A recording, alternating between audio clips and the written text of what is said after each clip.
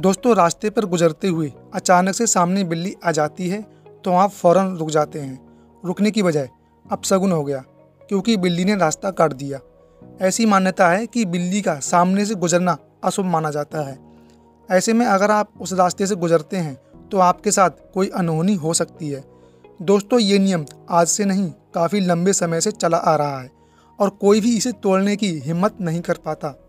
तो दोस्तों, आज हम इसी बात को क्लियर करेंगे कि बिल्ली रास्ता क्यों काटती है। क्या वाकई में बिल्ली का रास्ता काटना अपशगुन होता है? या फिर बिल्ली के रास्ते काटने का कोई लॉजिक होता है? सबसे पहले बात करते हैं कि बिल्ली का रास्ता काटना अपशगुन क्यों माना जाता है।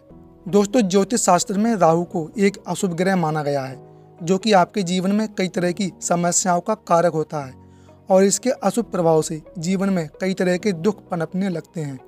और इसके साथ ही दुर्घटनाओं की आशंका भी बनी रहती है। तो वहीं वैदिक ज्योतिष में बिल्ली को राहु की सवारी माना गया है। यही कारण है कि राहु की सवारी होने के कारण बिल्ली का रास्ता काटना अशुभ माना जाता है। क्योंकि ऐसी मान्यता है कि जिस तरह राहु किसी भी व्यक्ति के जीवन में दुर्घटना का कारक है, ठीक उसी तरह बिल्ली का रास्ता काटने से किसी तरह की अनहोनी होने की आशंका बढ़ जाती है। इसका मतलब साफ़ है कि लोग बिल्ली से नहीं, बल्कि बिल्ली पर सवार, राहु की वजह से बिल्ली का रास्ता काटना अशुभ मानते हैं। बिल्ली की कुछ ऐसी बातें हैं जो अशुभ मानी जाती हैं। जैसे, नंबर वन, बिल्ली का बाईं ओर से रास्ता काटते हुए दाईं ओर निकल जाना। नंबर टू, बिल्ली के रोने की आवाज़ सुनना। नंबर थ्री, बिल्ली का आपके ऊपर से गुजरना या कूदना। दोस्तों, अब बात करते हैं कि बिल्ली रास्ता क्यों काटती है। बिल्ली के रास्ता काटने के ये रीजन है, जिनमें से नंबर वन, जंगली जानवरों से बचने के लिए। दोस्तों, हमारे पूर्वजों ने एक तर्क दिया था कि अगर हम किसी भी रास्ते से जा रहे हैं और रास्ते में काली बिल्ली या कोई भी बिल्ली आपका रास्ता काट दे तो वहाँ से जाना उचित नहीं है। तो दोस्तों, इसका मतलब ये नहीं है कि हमारे पूर्वजों ने सिर्फ़ अंधविश्वास में आकर ये मान्यता बनाई थी, बल्कि ये मान्यता इसलिए बनाई थी क्योंकि दरअसल उस समय जो सड़कें और रास्ते थे वो जंगल में या जंगल के आसपास घने पेड़ों एवं झाड़ियों से होकर बनाए जाते थे और इन्हीं जंगल झाड़ियों में जंगली जीव जंतु भी रहा करते थे, जिसमें शेर, बाघ एवं अन्य जंगली जानवर भी रहते हैं। और इन जंगली जानवरों के लिए बिल्ली सबसे आसान शिकार होती है, क्योंकि बिल्ली की आँखें रात में चमकती हैं और अपनी चमकती आँखों के कारण ये जंगलों में आसानी से दिख जाया करती है।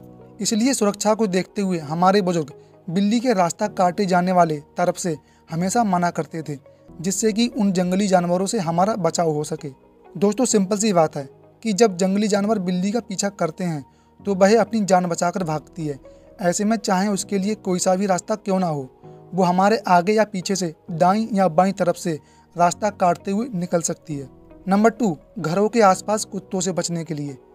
कभी कभी ऐसा होता है कि हमारे घर के आसपास जो कुत्ते होते हैं वह बिल्ली को देखकर उसका पीछा करने लगते हैं, जिससे कि बिल्ली अपनी सुरक्षा के लिए कुत्तों से डर के भागती है और ये बिल्ली आपके आसपास कहीं से भी किसी भी रास्ते से निकल सकती है।